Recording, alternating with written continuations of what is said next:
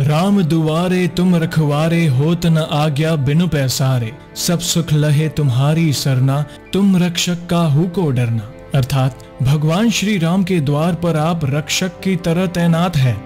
इसलिए आपकी अनुमति, आपकी आज्ञा के बिना कोई भगवान श्री राम तक नहीं पहुँच सकता। तमाम तरह के सुख आपकी शरण लेते हैं। इसलिए जिसके रक्षक आप होते हैं, उसे किसी तरह से भी डरने की ज़रूरत नहीं होती। जय श्री राम दोस्तों, कैसे हो आप? हमारी चैनल में आप सभी का स्वागत है। मैं हूँ आपका दोस्त Jayesh Vaghela founder of Dharmik story dot com and secret mysteries दोस्तों, संकट समय को अगर हम सकारात्मक नज़रिए से देखें तो संकट समय ही एक ऐसा समय होता है, जब एक इंसान ईश्वर के निकट आता है और ईश्वर को मदद की गुहार लगाता है। ऐसा ही कुछ इस भक्त के साथ हुआ। इनके जीवन में एक समय ऐसा आया कि सारे सपने टूटने वाले थे। दोस्तों आज का ये अनुभव देखने के बाद भगवान पर बढ़ेगा विश्वास आपका।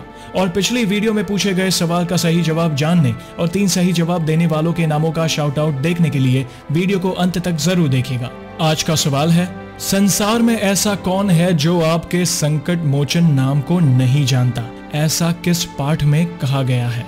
ऑप्शन है, हनुमान चालीसा, हनुमान साठिका हनुमान अष्टक या बजरंग बाण।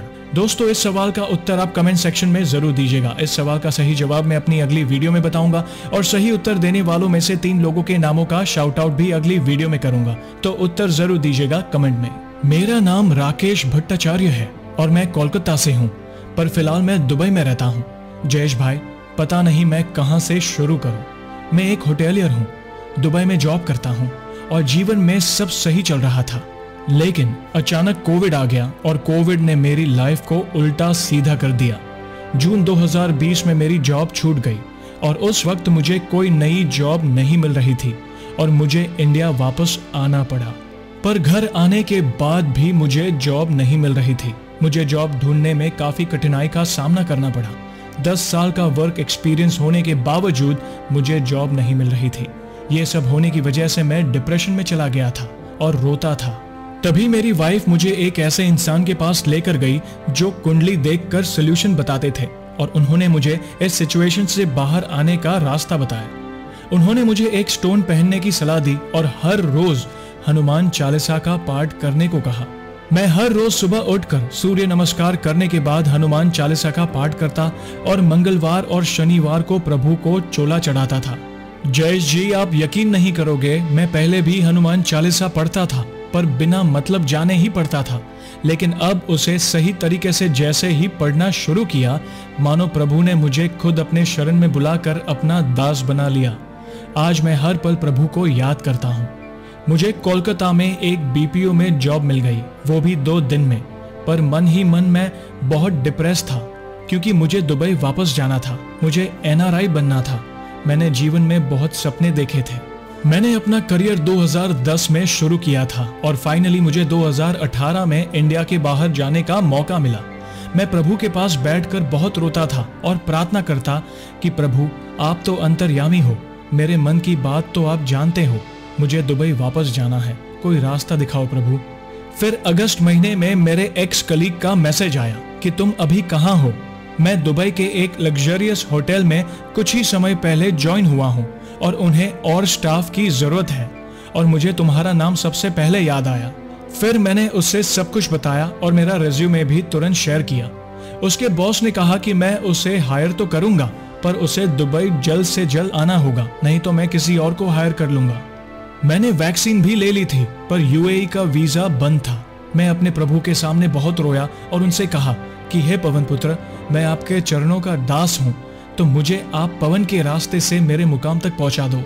फिर अचानक 29 अगस्त को सुबह उठते ही मुझे एक सरप्राइज़ मैसेज मिला कि यूएई ने फिर से टूरिस्ट वीज़ा देना शुरू कर दिया है। मुझे तो मानो यकीन ही नहीं हो रहा था। मैंने प्रभु श्री राम का नाम लेकर वीज़ा अप्लाई कर दिया। फिर दो दिन बाद ही मंगलवार के दिन मैंने रोते हुए प्रभु को चोला चढ़ाया। फिर मैंने संकट मोचन हनुमान अष्टक पढ़ना शुरू ही किया था कि मुझे मैसेज आया कि मेरा वीज़ा अप्रूव हो गया है। मेरा वीज़ा 2 सितंबर को आ गया और 5 सितंबर को तीन बार कोरोना टेस्ट देकर उसे पास करके मैं दुबई आ गया। प्रभु को छोड़ के आते समय मैं बहुत रोया, लेकिन मेरी माँ ने कहा कि चिंता मत कर, प्रभु तेरे साथ है, प्रभु तेरे मन में है, तेरे हृदय में है, प्रभु हमेशा तेरी रक्षा करेंगे। मेरा इंटरव्यू 6 सितंबर को शेड्यूल हुआ और उस दिन जयेश भाई मैंने अपने साथ प्रभु की उपस्थिति को महसूस किया। उस दिन मुझमें एक अलग ही कॉन्फिडेंस था। इंटरव्यू टफ था, लेकिन मेरे प्रभु की कृपा से मैंने वो इंटरव्यू आसानी से पास कर लिया। मेरे दोस्त को विश्वास ही नहीं हुआ कि मैंने इंटरव्यू के तीन राउंड आसानी से पास कर लिए।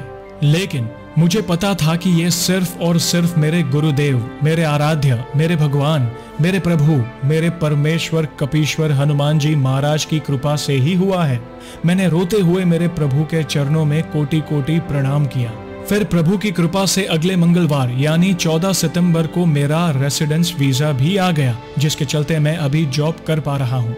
मैं अभी एक वेस्टर्न कंट्री में परमानेंट रेसिडेंस का प्रोसेस भी कर रहा हूँ और मुझे मेरे प्रभु पर पूरा विश्वास है कि प्रभु मेरा ये सपना भी पूरा करेंगे। तो दोस्तों, देखा आपने, प्रभु के सामने गिरा आपका हर एक आँसू कभी जाया नहीं जाएगा। प्रभु भक्ति में आपकी तड़प ही आपको प्रभु के निकट लाती है। और जब प्रभु का हाथ आपके सर पर हो तो यह तय है कि सफलता आपको मिलनी ही है। तो ऐसे ही है हमारे बजरंग बली। और दोस्तों, अब हम जानेंगे हमारी पिछली वीडियो में पूछे गए सवाल का सही उत्तर। सवाल था, हनुमान जी के नाम के निरंतर जब से क्या होता है? ऑप्शंस थे, रोगों का नाश होता है, राम भक्ति की प्राप्ति होती है, संकट से मुक्ति मिलती है, या तीनों सही है?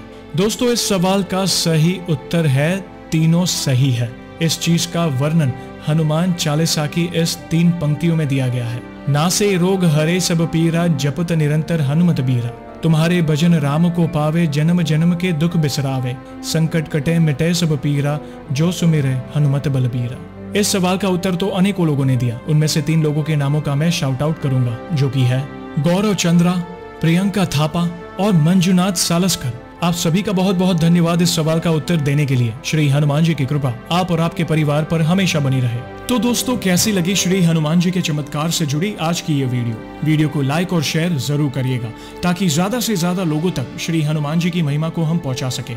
और जल्द ही एक और सच्ची घटना के साथ हम वापस लौटेंगे। तब तक जय श्री राम, जय हनुमान।